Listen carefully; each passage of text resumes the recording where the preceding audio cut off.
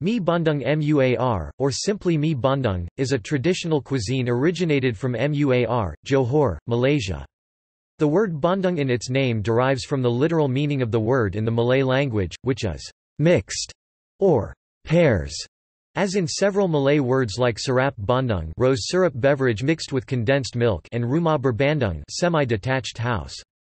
It is a misconception to think that the name indicates that Mee Bandung originated in Bandung, a city in Indonesia. The two are unrelated. Mee Bandung is a cuisine that originally consisted only of noodles and eggs in addition to a soup made of a mixture of chili, onion, spices, shrimp paste, and dried shrimp. Later it was improved by the addition of shrimp, meat, fish cakes, and vegetables. Even though Mee Bandung is now available throughout Malaysia, the version served in MUAR is still considered the best.